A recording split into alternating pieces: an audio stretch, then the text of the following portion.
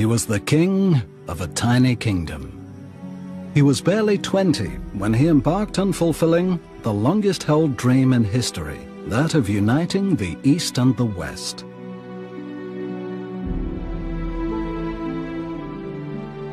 A political and military genius, he conquered the greatest empire of the time, which extended up to the borders of India. In 13 years, he imposed a new vision of the world. That was 2,300 years ago. His name? Alexander the Great.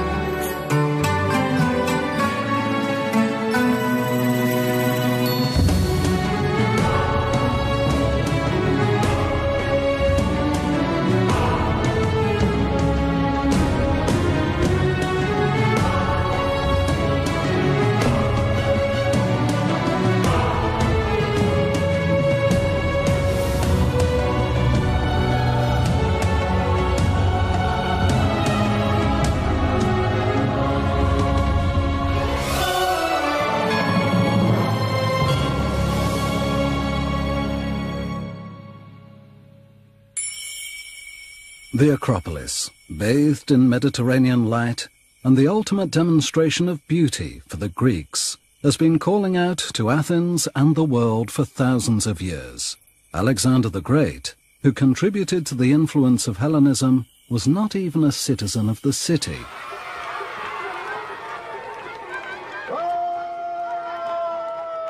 Yet, each summer, at the foot of this rock, children gaze with fascination at shadow puppet shows inspired by legends about him.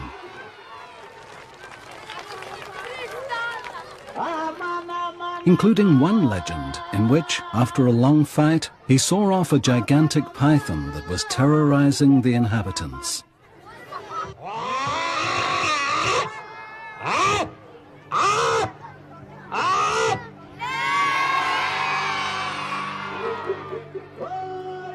From the Atlantic to the Pacific, his exploits have permeated the culture and the collective memory of many civilizations. The man, the soldier, and the politician gazes far into the future, as if he were dreaming. He arrived on the world stage in 356 BC in Macedonia, 500 kilometers from Athens, which was then the capital of ancient Greece. He was born in Pella, north of Mount Olympus, the chosen land of the gods. This valley has always been dedicated to horses, and its current inhabitants could well be the descendants of Alexander and his cavalrymen. At birth, this son of a king received the kingdom of Macedonia from his father, Philip II. Philip had united a Greek world devastated by intercity wars it was a world of amazing artistic and intellectual richness, radiating intelligence and beauty that would give birth to Western civilization. The kingdom was small, and Alexander's ambition immense. Having inherited the spirit of his father, he succeeded in spreading Greek thinking far and wide. His genius was underpinned by brilliant strategic and political intuition. These simple soldiers, feasting with nobles, provide one of the keys to Alexander's military superiority. At a time when professional armies did not exist, he formed a permanent army with veritable professional troops. This offered a considerable advantage over his enemies, who would arm peasants, who would then return to their harvest when the war was over.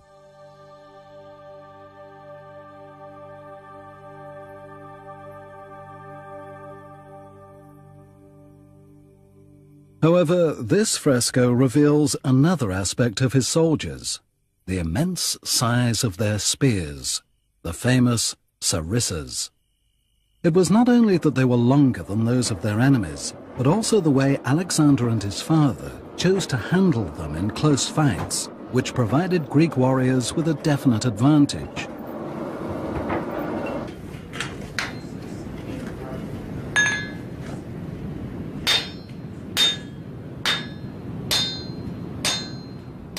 Professor Minor Markle has reconstructed the way in which the Macedonian infantry used the famous sarissas.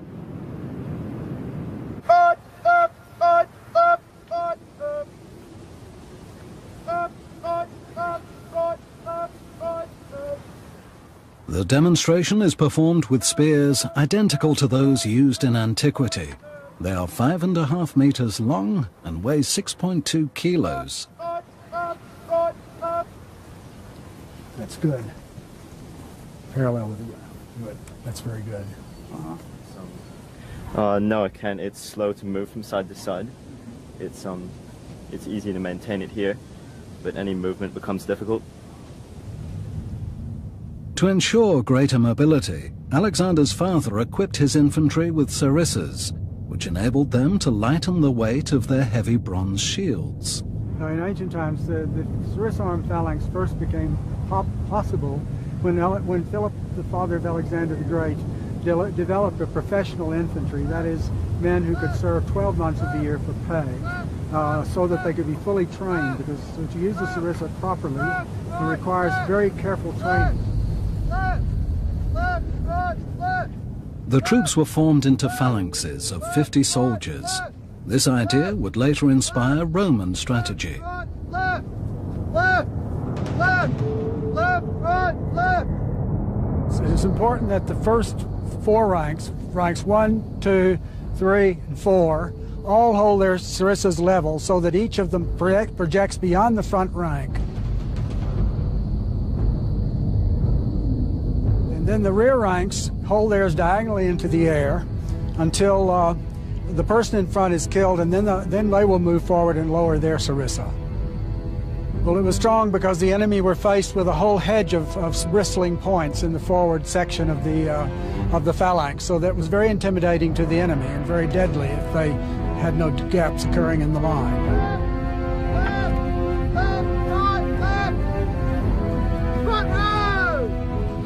With its professional infantry, sarissas, and complete mastery of a new combat strategy, Alexander had a decisive military device at his disposal. All that remained was to embark on a campaign.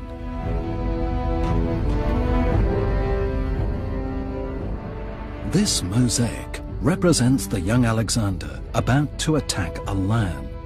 As an adolescent, he apparently managed to single-handedly tame Bucephalus, a wild horse that, along with Alexander, would become legendary. The philosopher Aristotle was responsible for teaching him the unique Greek way of thinking that had been developing intellectually for over three centuries. For the Greeks, the entire world was limited to Greece, Egypt and Asia, at whose borders India was located. Alexander was convinced that he had to spread the same way of thinking to all habitable lands and to all fellow citizens of the same state and government. In a word, he felt he was responsible for taking Greek civilization to the most remote lands. Before embarking on this enterprise, he decided to consolidate his power inherited from his father. He united around him the Greek cities being threatened by Persian expansionism and weakened by divisions. These cities were also scattered over a large area and were therefore vulnerable. Convinced by his vision, these cities entrusted him to liberate their sister cities in Asia Minor, which at that time was under Persian rule. During this period in history, the majority of Asia was under the influence of the powerful Persian Empire. In keeping with this vast territory, everything was on a gigantic scale. This statue, representing Lamassu, a winged bull with a man's head, is seven meters tall. It appears to guard Persepolis, the capital of the empire, a place that was the subject of both fear and fascination for the small Greek cities. This monumental staircase leading up to Apadana Palace is also impressive and was large enough to accommodate 100,000 people, without including the 10,000 immortals that formed the imperial guard of the sovereign. The system of government was an autocratic one, very different from democratic Greece.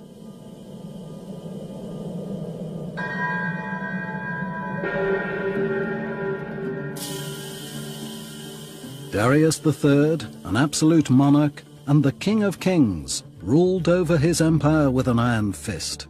His power lay in the richness of his vassals, the 23 provinces of the Persian Empire.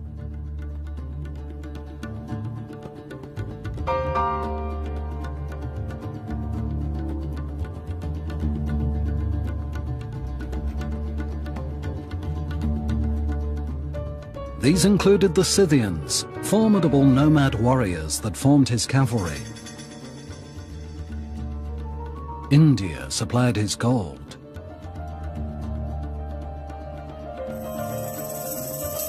Ethiopia, is ivory.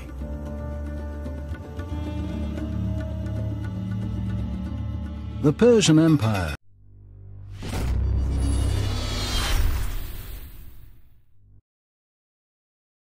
still had to conquer Greece, which it had always coveted and was a real obsession for Darius.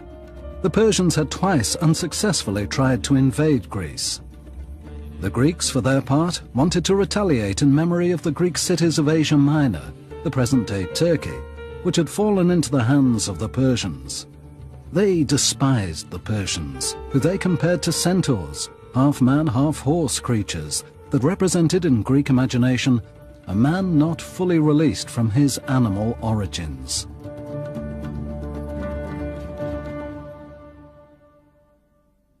Alexander's appeal was received with fervour throughout the Greek world, and he was able to embark on one of the most dazzling adventures ever envisaged by man.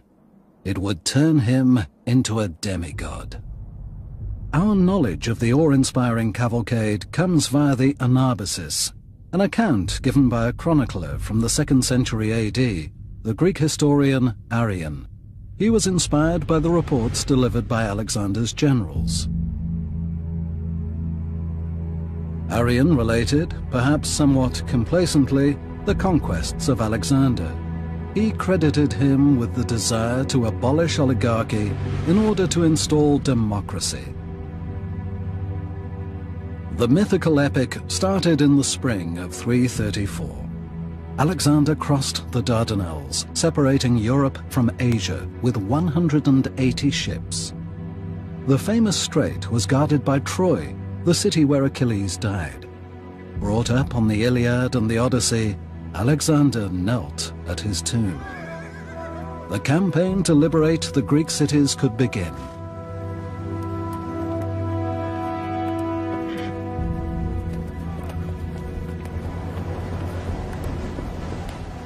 he advanced with 37,000 men to the banks of the Granicus. The Persian army was waiting for him on the other side of the river. This was Alexander's first major battle. The day of reckoning was in May 334. The Persians expected his infantry to cross the river and expose themselves to their arrows. He decided to surprise them by charging the cavalry. The impetuous nature of the charge disconcerted the enemy and caused confusion in their ranks.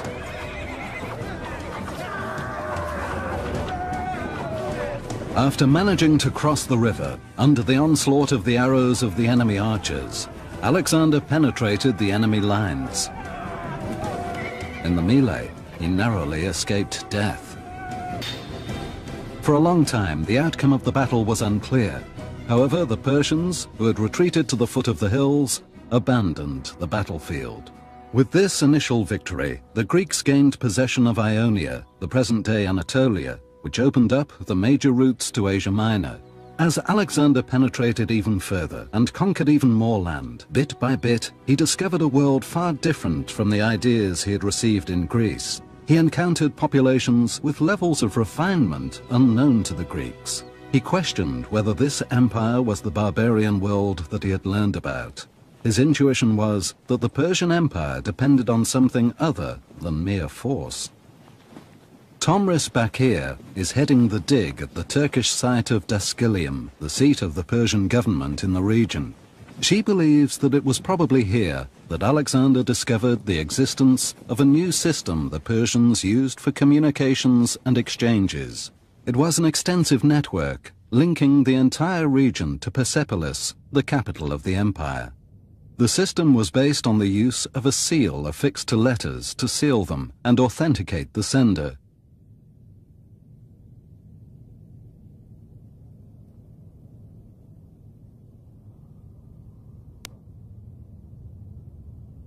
Several hundred seals were found in the ruins of Daskylium.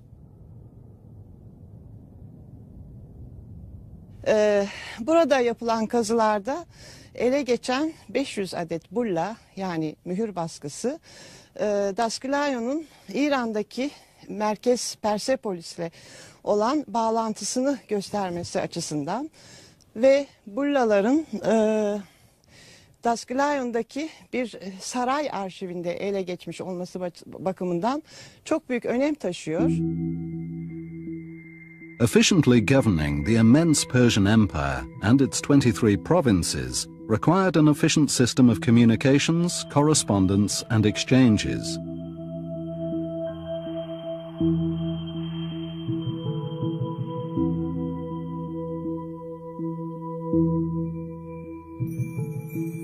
It also required an efficient administration.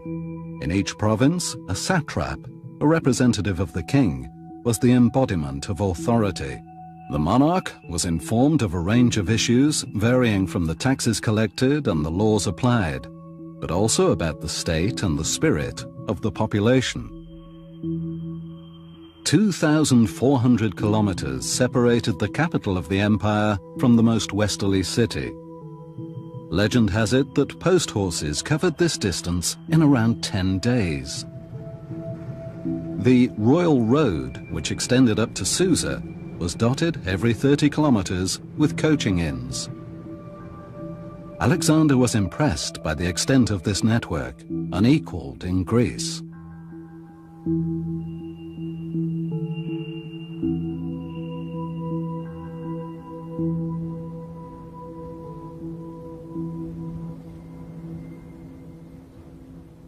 In pursuit of his dream, Alexander headed southeast. He had an historic appointment with Darius, who he was to confront in person for the first time.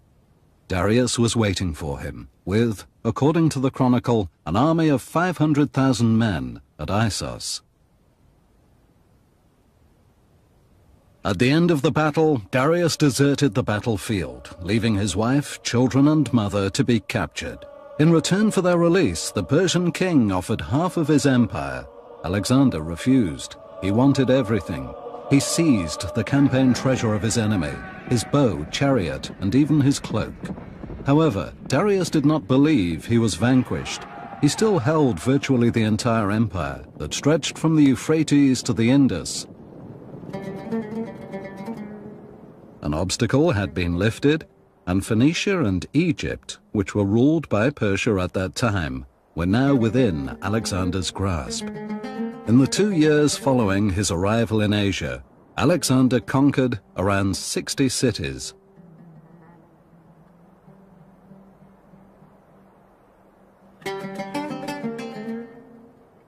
As if drawn by a magnet, Alexander prepared for an appointment with the Egyptian civilization and its pyramids over 3,000 years old. At the foot of the pyramids, he received a formidable lesson in politics, discovering how the Persians governed enslaved countries. He noted, in fact, that Darius, who was venerated as a pharaoh, had allowed the Egyptians to practice their religion and had displayed a profound respect for their language and culture. Alexander was also fascinated by the way that the Persians had enhanced this arid land.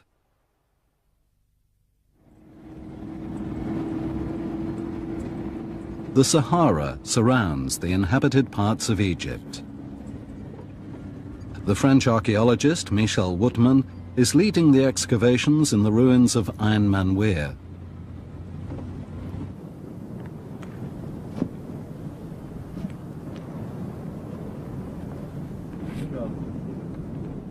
About 12 years ago, excavations in the waterways revealed a system of capturing and diverting water dating back to the period of Persian rule in Egypt.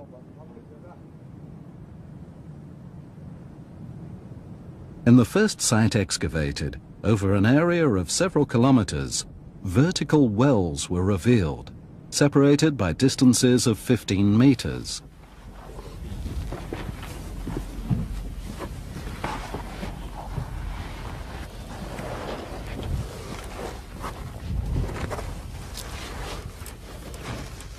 The bottom of the wells, Dr. Wootman discovered a gallery, approximately 60 centimeters wide, dug into the rock at a depth of 9 meters.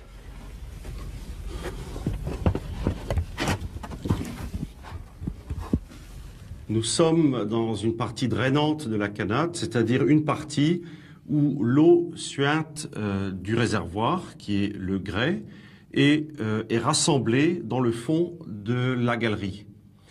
Cette eau est collectée sur toute la longueur et euh, s'achemine par la pente euh, très faible du tunnel vers la sortie.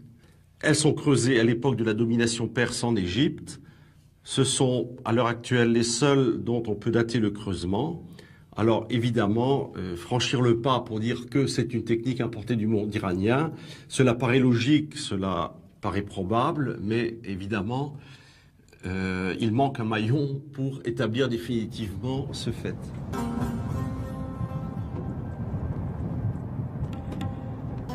This technique is still used in Iran, in the desert province of Yazdi, 2,400 kilometers to the east of the Egyptian site.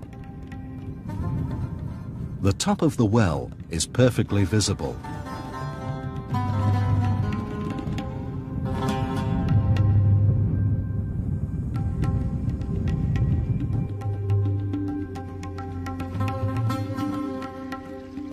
The underground sources run along these kanats.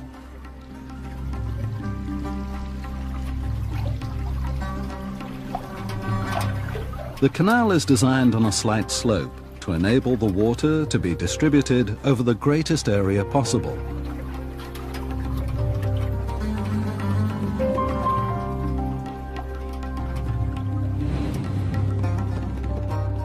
It was a gigantic hydraulic system with a series of wells that linked underground canals running from the mountains to the farms in the plains. After traveling 50 kilometers underground, the water remains fresh, despite temperatures in the region that exceed 45 degrees. This system provides a supply of water protected from evaporation.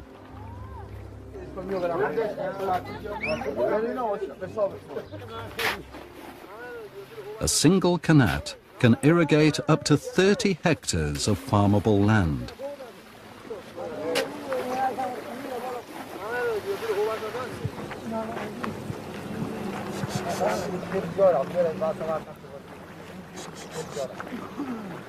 به نظر ما الان این آب از دل بالاتر از خدا از خنات از اونایی که گذشته بره ما این خنات در اردن This system is no doubt inherited from the know-how of the Persian Empire. Michel Wootman, in any event, believes this is the case. Le temple de Aïn Manaur a été découvert presque par hasard en 1993 par des balayages de surface sous des tas de céramique d'époque romaine. La fouille de ce temple ben, a livré du mobilier, parmi ce mobilier des ostracas, qui se sont révélés être des contrats, des contrats qui portaient des dates et euh, voilà qui nous transportait à l'époque de la première domination perse en Égypte, depuis euh, le règne de Darius euh, jusqu'à la fin de cette domination, voire même un peu au-delà. Il faut imaginer tout le bas de la colline, toute cette zone, il faut l'imaginer verte, verte de jardins, verte de champs, verte d'arbres, de palmiers, de sycomores, de perséas, tout type d'arbres mentionnés dans les textes qui nous sont parvenus.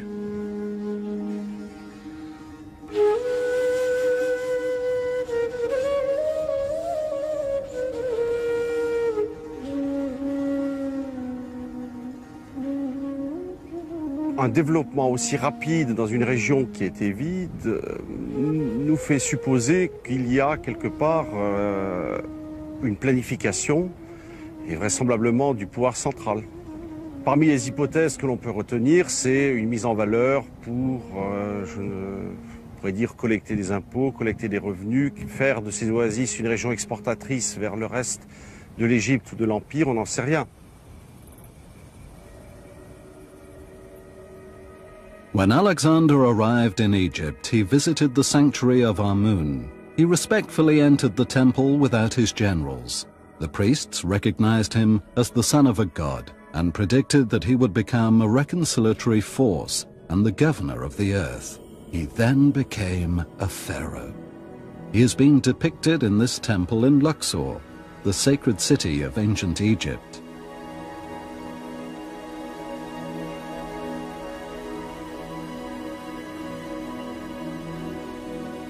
In common with his predecessor, he continued the policy of tolerance as he understood that he would never govern Egypt without the agreement of its population. His idea of royalty had been transformed.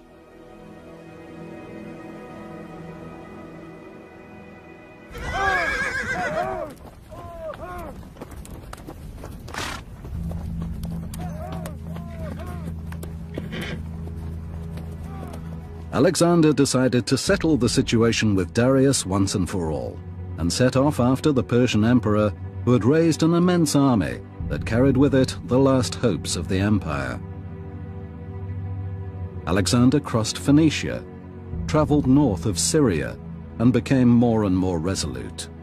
He crossed over the Euphrates and the Tigris on the 20th of September 331, a night of an eclipse, and camped in Gaugamela the two sovereigns prepared themselves for the final battle.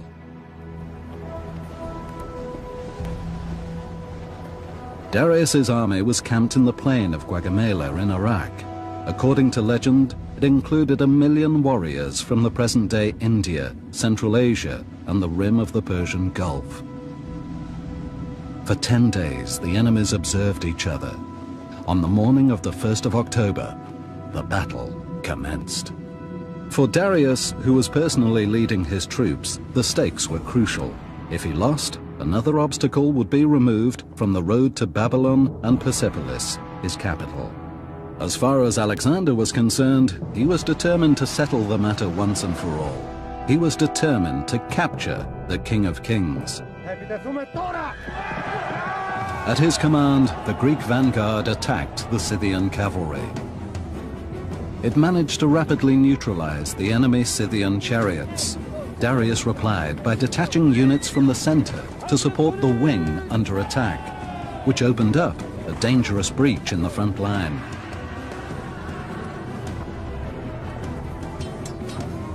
At the same time, the right wing of his cavalry attacked the Macedonian flank in an attempt to overwhelm it.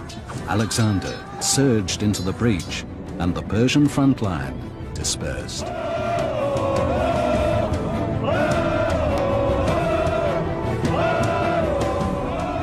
The violence of the charge was amazing, and it wiped out the heart of the Persian army.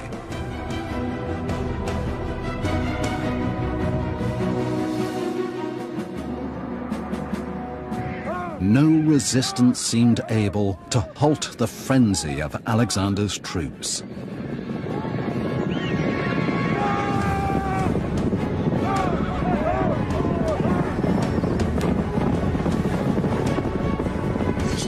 Darius realized the extent of the defeat, and feeling under threat, he withdrew.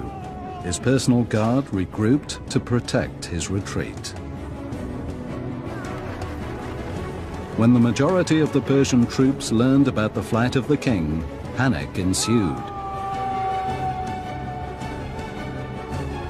The entire Persian Empire was now within the reach of the Macedonian king. One world was finishing. Would another one begin?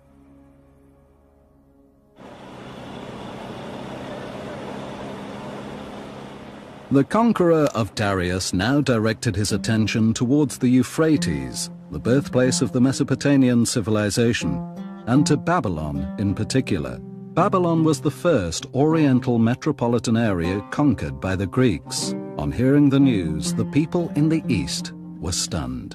Alexander triumphantly walked along the sacred way that led to the monumental ceramic Ishtar Gate. He was welcomed by one of the generals he had fought against.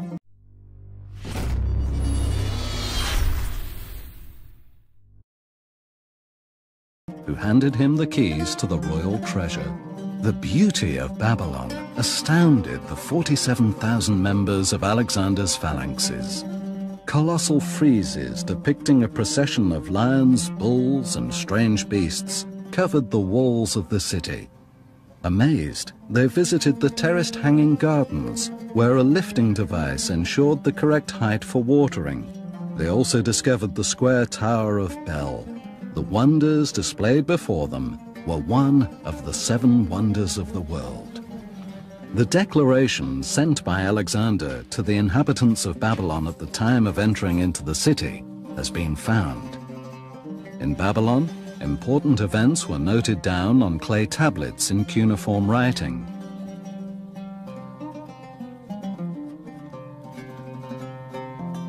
These tablets were deciphered by Christopher Walker and are kept at the British Museum. This line on the tablet contains Alexander's declaration made to the people of Babylon before he entered the city I shall not enter your houses. We suspect again this is some kind of political propaganda. There is a story from much earlier times when the Persian king Cyrus captured Babylon at the time of Nabonidus, that after he had entered Babylon, he issued a declaration that all the citizens of Babylon must surrender their weapons. And after that, the houses were searched, and any house that was found to contain weapons, all of its occupants were put to death. Alexander's declaration seems to be something like a promise that this kind of treatment will not be given to the Babylonians this time around. It must have been an attempt to win the Babylonians over without fighting a battle. As the first step in a new approach, having come from being king of the Greeks, he aimed to be king of the barbarians. He had to get on terms with them. He had to show to them that he was also going to respect their own people, their own customs, their own religion. It was the first attempt to set himself up as a really international ruler. Alexander was assisted by a rumor that had spread throughout the Orient regarding his desire for tolerance and his respect for conquered populations, and the inhabitants of Babylon accepted him without difficulty.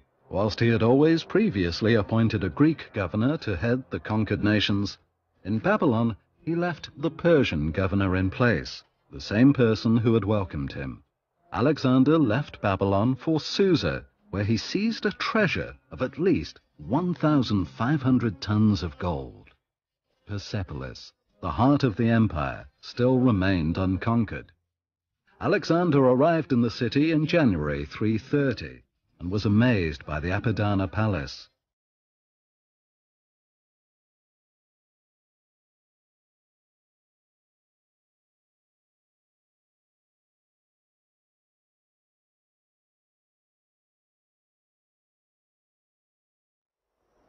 The edifice alone extends over 300 meters from east to west and 430 meters from north to south. The entire structure comprises 13 buildings. The treasury contained over 3,000 tons of gold. 20,000 mules and 3,000 camels were mobilized to remove it. Everything was gold, bright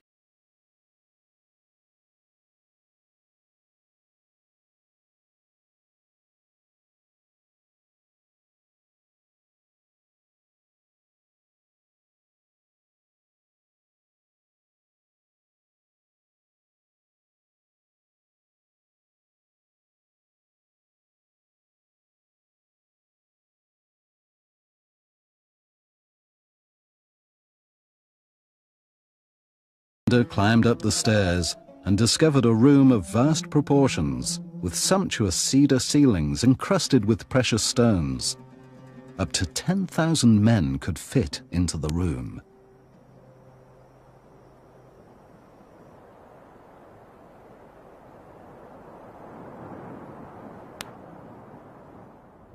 According to witnesses, Alexander penetrated the palace surrounded by his generals.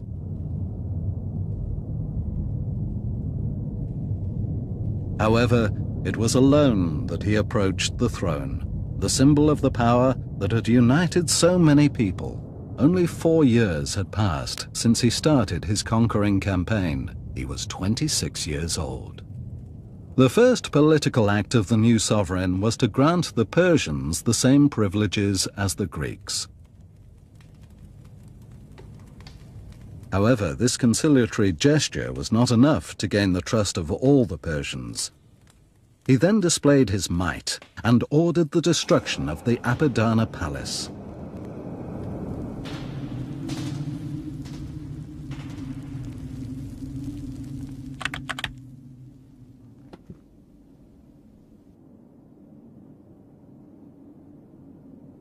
La raison officielle qui est donnée par les Grecs, c'est qu'Alexandre a voulu venger les destructions des temples grecs par Xerxès en 480, donc euh, au cours des guerres médiques, mais certainement pas la seule raison. Ce que je crois aussi, c'est que, euh, à la différence de Babylone, par exemple, ou de Suse, Alexandre n'a pas été accueilli d'une manière unanimement favorable en Perse. Il ne faut pas oublier qu'à cette date-là, Darius est toujours vivant, il prépare une nouvelle armée euh, au nord, à Ibatan. Donc, euh, Alexandre n'est pas débarrassé de, l'Empire perse. L'Empire perse existe toujours, même s'il a été réduit de moitié. Et, donc, en Perse même, il y a certainement eu des résistances. Et euh, je pense que c'est en partie, en tout cas, pour faire cesser ces résistances, que Alexandre a voulu faire donner un signe, disant aux Perses maintenant, c'est fini. La grandeur impériale, ce n'est plus le grand roi, c'est moi. Et donc, il en a détruit, non pas l'ensemble de Persépolis d'ailleurs, on a mis le feu à un, palais, pas plus, hein, et on a laissé les soldats piller une partie du palais.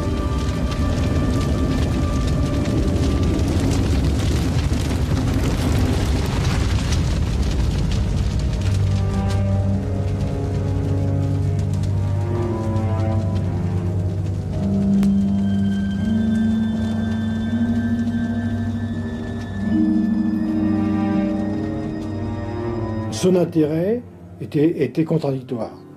Il lui fallait à la fois euh, apparaître comme le successeur des, grands rois, donc établir ses liens avec les nobles iraniens et les nobles perses, mais il était dans une situation où ces nobles iraniens, certains d'entre eux, n'étaient pas favorables à la collaboration. To persuade them to collaborate, Alexander simultaneously played upon feelings of fear and seduction. Anabasis relates that he ordered an enormous banquet, to which both Greeks and Persians were invited. He attended dressed in Persian dress, and in a solemn declaration, he expressed his desire to see the two peoples living in harmony.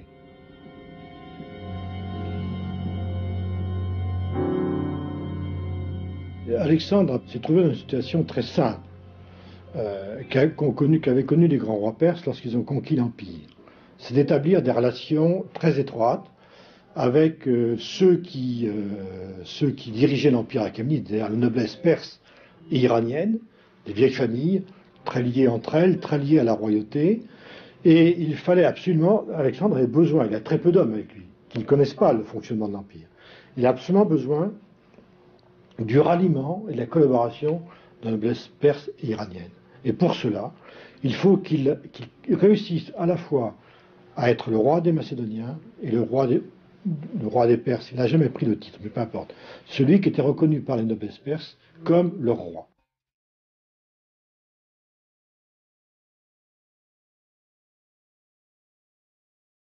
In the empire, it was customary for vassals to prostrate themselves before the king of Persia.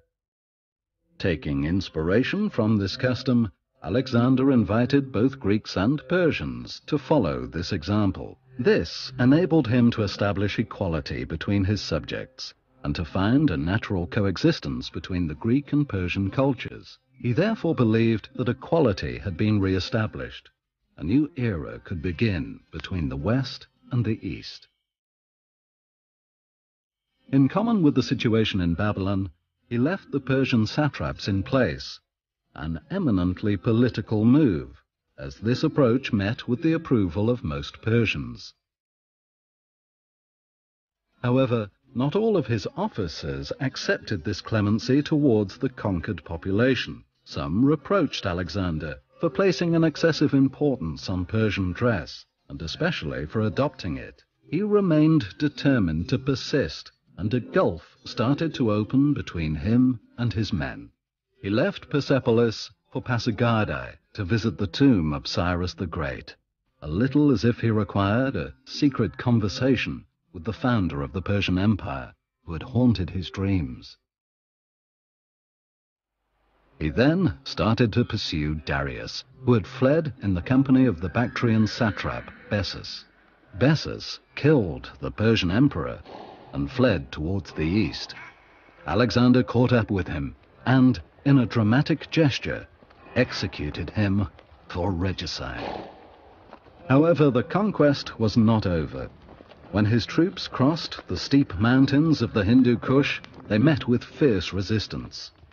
In the regions where Persian influence was less pronounced, Alexander and his men met with violent opposition from the nomads of the steppes of Central Asia. He left behind him new cities, which included Alexandria in Arachosia, that is, Kandahar, and Alexandria in the Caucasus near Kabul.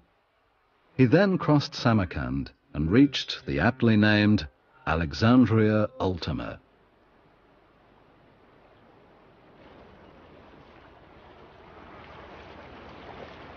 He crossed the Beas River, a tributary of the Indus, the easternmost point of his immense expedition. On the other bank, the Indian subcontinent began, with its tropical climate and monsoon, which the Greeks experienced for the first time. This was the place where, according to the Anabasis, an enormous Indian army had discreetly taken up position, commanded by King Porus, who Alexander then captured. How do you wish to be treated? Alexander asked him. Like a king, Porus replied. This was my intention, answered Alexander, who decided to make him a friend. The date was July 326, eight years after the start of the expedition and four years after taking Persepolis. His soldiers were weary and wished to return home. Alexander attempted to persuade them not to give up. Alexander wanted to pursue his dream up to the great Eastern Ocean, described in the legendary tales recounted by travelers returning from China. However, the officers and soldiers remained entrenched in their positions. Alexander was disenchanted and forced to renounce his plans and turn back with his troops. Nothing could overcome his sadness for a dream that was now impossible to attain. He died three years later, on the 13th of June 323, of a fever, probably contracted in Babylon. He was not yet 33 years old. He left no will, as dreams cannot be inherited.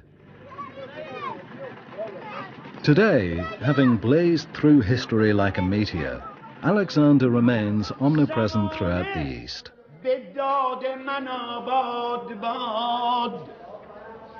شگفتی تر از کار من در جهان نبیند کسی The art of this Iranian storyteller relives the myth of the invincibility of the great conqueror. The storytellers take their sources both from memory and from universal literature that has transcended time and cultures both in the East and the West. The memory of this unique period has been handed down virtually intact over two millennia.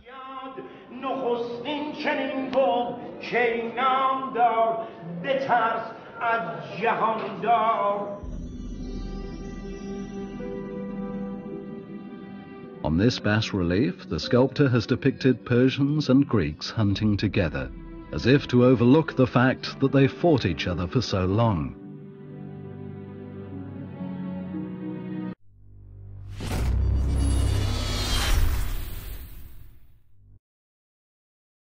This allegory expresses the perennial vision of Alexander. The fighter on horseback from a small Greek city was propelled by a dream that was too great for his time.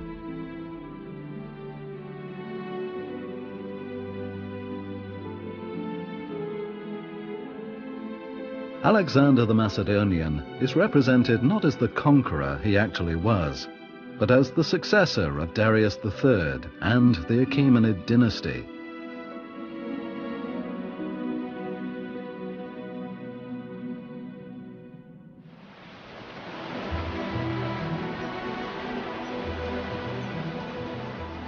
The Greek world, which ten years earlier stopped at Byzantium, now stretched right up to the Indus Valley. The King of Macedonia embodied the greatest dream in history, the dream of merging the East and the West in a way other than through a clash of armies. The dream of extending the same law to all, in the same way as the sky shines its infinite light on all, ended with him, though others would pursue it. The treasures taken from the Persian kings financed the creation of major trade routes, thus accomplishing one of Alexander's aims, that of putting all people in communication with each other. This led to the creation of the Silk Road in the vast lands of Eurasia, which would link China to the Mediterranean for 23 centuries.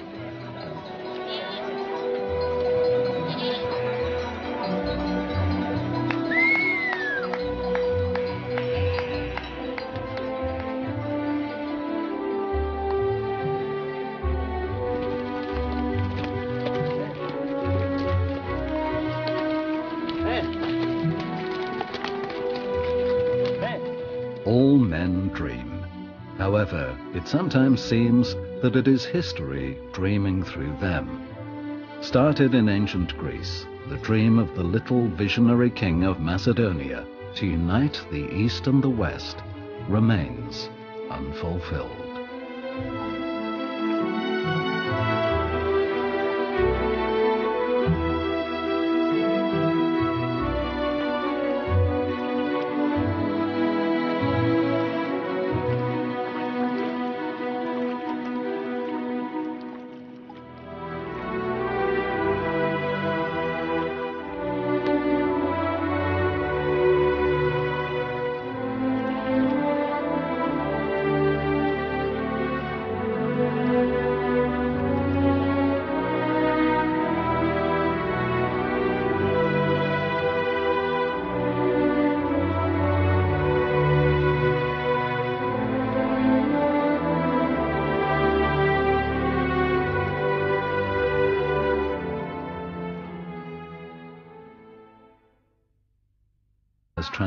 time and cultures, both in the East and the West. The memory of this unique period has been handed down virtually intact over two millennia.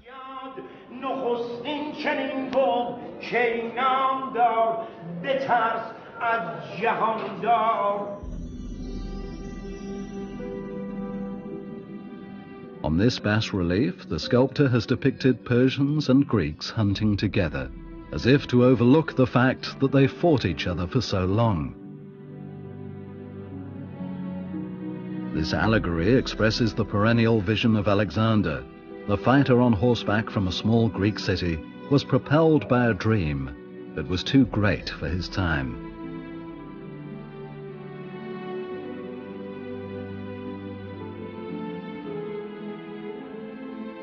Alexander the Macedonian is represented not as the conqueror he actually was, but as the successor of Darius III and the Achaemenid dynasty.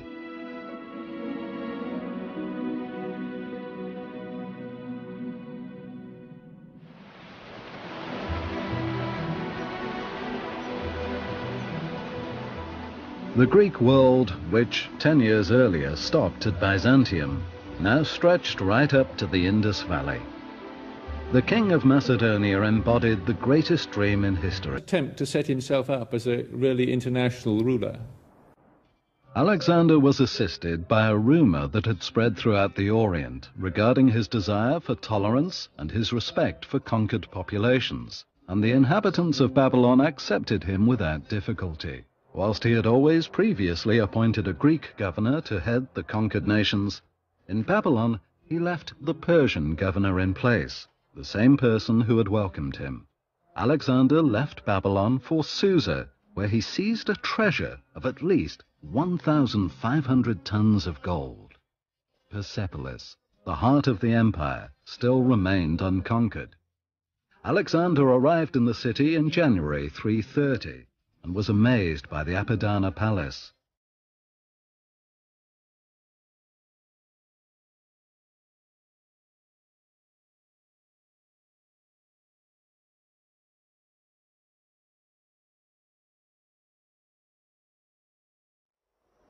The edifice alone extends over 300 metres from east to west and 430 metres from north to south. The entire structure comprises 13 buildings. The treasury contained over 3,000 tons of gold. 20,000 mules and 3,000 camels were mobilized to remove it.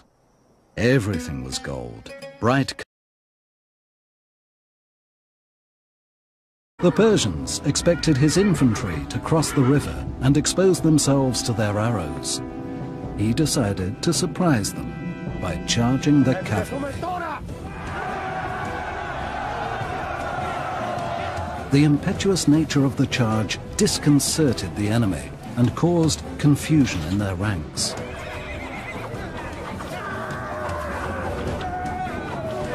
After managing to cross the river under the onslaught of the arrows of the enemy archers, Alexander penetrated the enemy lines. In the melee, he narrowly escaped death. For a long time, the outcome of the battle was unclear. However, the Persians, who had retreated to the foot of the hills, abandoned the battlefield. With this initial victory, the Greeks gained possession of Ionia, the present-day Anatolia, which opened up the major routes to Asia Minor. As Alexander penetrated even further and conquered even more land, bit by bit, he discovered a world far different from the ideas he had received in Greece. He encountered populations with levels of refinement unknown to the Greeks. He questioned whether this empire was the barbarian world that he had learned about. His intuition was that the Persian Empire depended on something other than mere force. Tomris Bakir is heading the dig at the Turkish site of Daskylium, the seat of the Persian government in the region.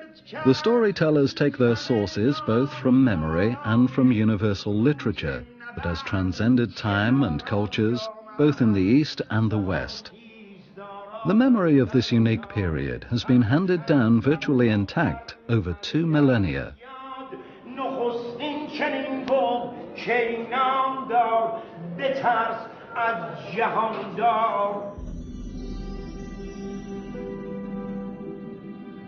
On this bas-relief, the sculptor has depicted Persians and Greeks hunting together, as if to overlook the fact that they fought each other for so long. This allegory expresses the perennial vision of Alexander. The fighter on horseback from a small Greek city was propelled by a dream that was too great for his time.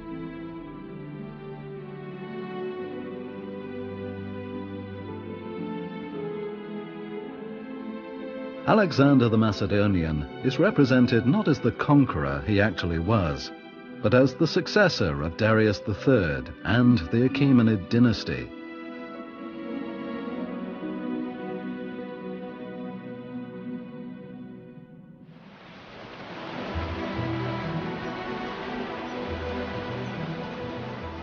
The Greek world, which ten years earlier stopped at Byzantium, now stretched right living in harmony.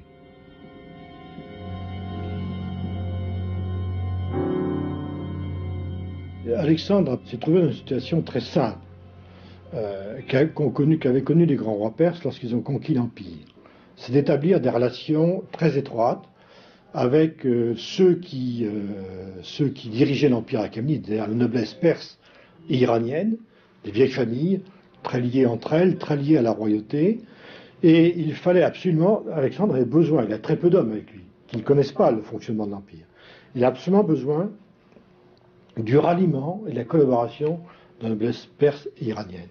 Et pour cela, Il faut qu'il réussisse à la fois à être le roi des Macédoniens et le roi des, le Perses. Il n'a jamais pris de titre, mais peu importe. Celui qui était reconnu par les noblesses perses comme leur roi.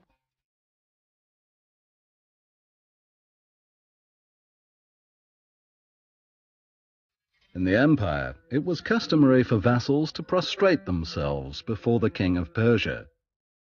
Taking inspiration from this custom, Alexander invited both Greeks and Persians to follow this example. This enabled him to establish equality between his subjects and to find a natural coexistence between the Greek and Persian cultures. He therefore believed that equality had been re-established. A new era could begin between the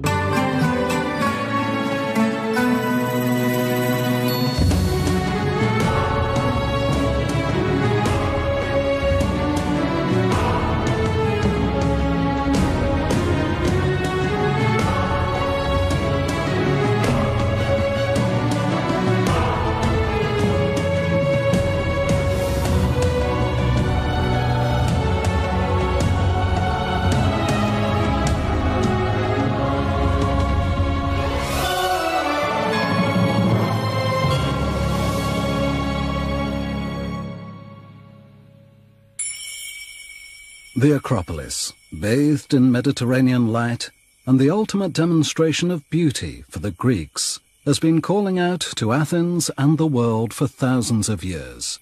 Alexander the Great, who contributed to the influence of Hellenism, was not even a citizen of the city.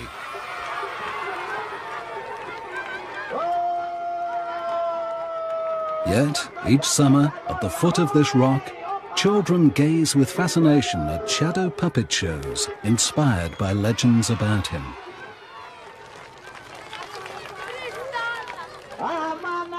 Including one legend in which, after a long fight, he saw off a gigantic python that was terrorizing the inhabitants.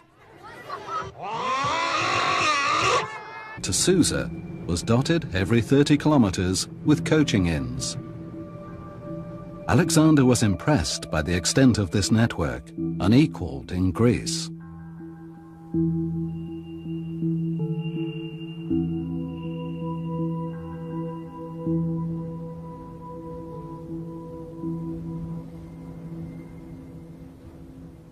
In pursuit of his dream, Alexander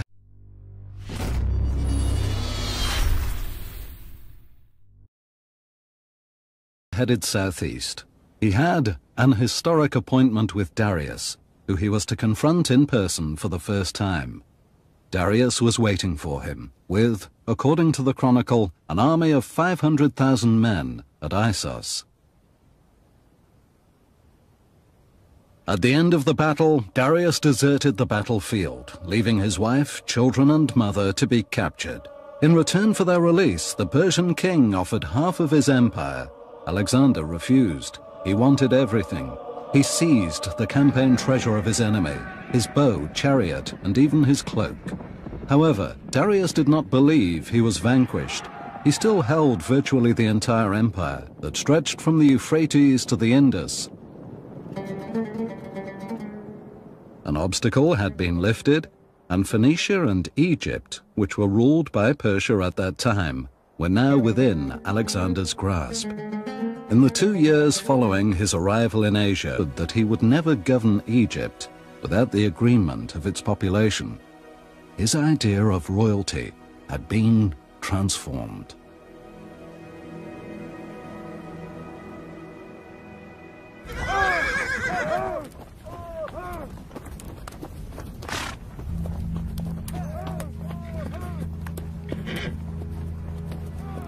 Alexander decided to settle the situation with Darius once and for all, and set off after the Persian emperor who had raised an immense army that carried with it the last hopes of the empire.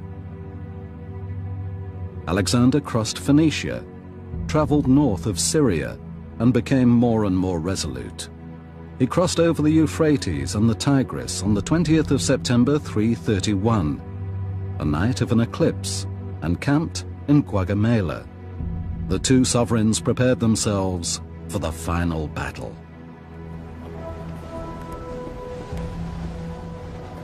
Darius's army was camped in the plain of Gaugamela in Iraq. According to legend, it included a million warriors from the present-day India, Central Asia, and the rim of the Persian Gulf. For 10 days, the enemies observed each other. On the morning of the 1st of October, the battle commenced. For Darius, who was personally leading his troops, the stakes were crucial. These tablets were deciphered by Christopher Walker and are kept at the British Museum. This line on the tablet contains Alexander's declaration made to the people of Babylon before he entered the city I shall not enter your houses. We suspect again this is some kind of political propaganda.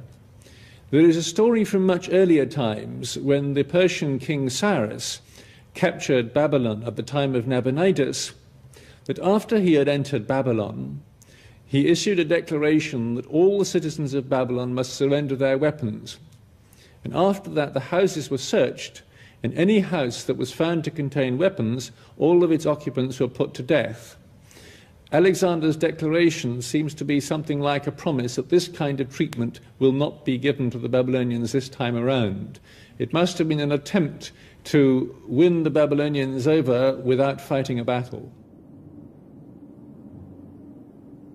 as the first step in a new approach. Having come from being king of the Greeks, he aimed to be king of the barbarians. He had to get on terms with them. He had to show to them that he was also going to respect their own people, their own customs, their own religion. It was the first attempt to set himself up as a really international ruler. Of a new system the Persians used for communications and exchanges. It was an extensive network linking the entire region to Persepolis, the capital of the empire. The system was based on the use of a seal affixed to letters to seal them and authenticate the sender.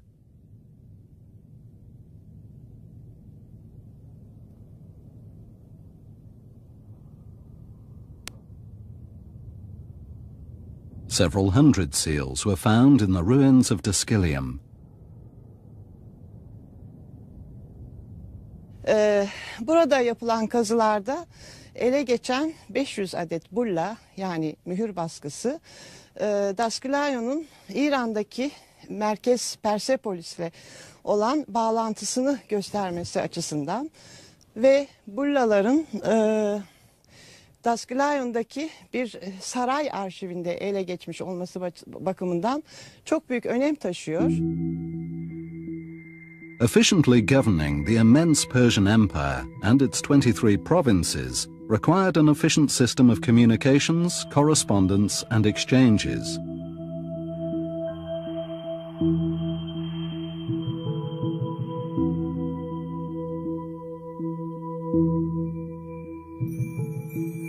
It also required an efficient administration. In each province,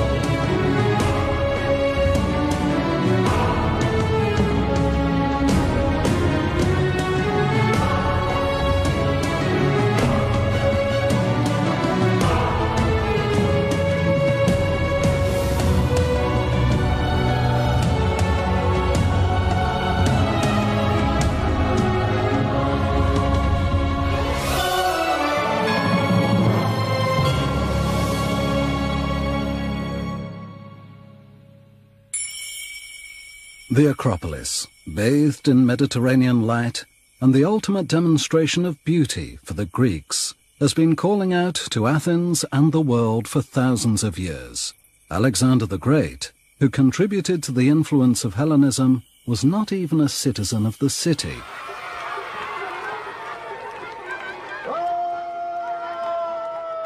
Yet, each summer, at the foot of this rock, children gaze with fascination at shadow puppet shows inspired by legends about him.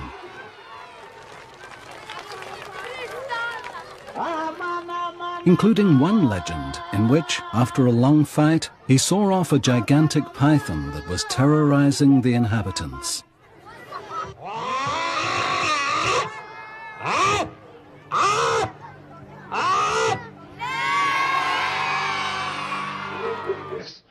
Iranienne, des vieilles familles, très liées entre elles, très liées à la royauté. Et il fallait absolument, Alexandre avait besoin, il a très peu d'hommes avec lui, qui ne connaissent pas le fonctionnement de l'Empire. Il a absolument besoin du ralliement et de la collaboration de la noblesse perse et iranienne. Et pour cela, il faut qu'il réussisse à la fois à être le roi des Macédoniens et le roi des, Perses. Il n'a jamais pris le titre, mais peu importe. Celui qui était reconnu par les noblesses perses comme leur roi.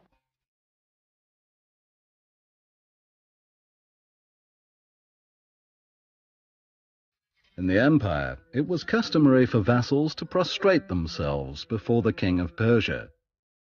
Taking inspiration from this custom, Alexander invited both Greeks and Persians to follow this example. This enabled him to establish equality between his subjects and to find a natural coexistence between the Greek and Persian cultures. He therefore believed that equality had been re-established. A new era could begin between the West and the East. In common with the situation in Babylon, he left the Persian satraps in place, an eminently political move, as this approach met with the approval of most Persians. However, not all of his officers accepted this clemency towards the conquered. Où l'eau suinte euh, du réservoir, qui est le grès, est, euh, est rassemblée dans le fond de la galerie. Cette eau est collectée sur toute la longueur et euh, s'achemine par la pente très faible du tunnel vers la sortie. Elles sont creusées à l'époque de la domination perse en Égypte. Ce sont à l'heure actuelle les seules dont on peut dater le creusement. Alors évidemment, euh, franchir le pas pour dire que c'est une technique importée du monde iranien, cela paraît logique, cela paraît probable, mais évidemment, euh, il manque un maillon pour établir définitivement ce fait.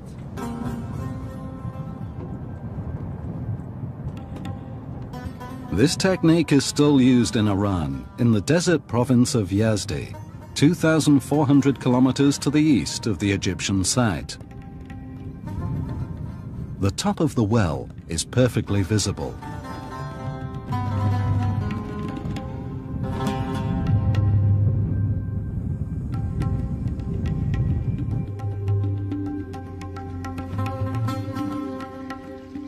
The underground sources run along these kanats.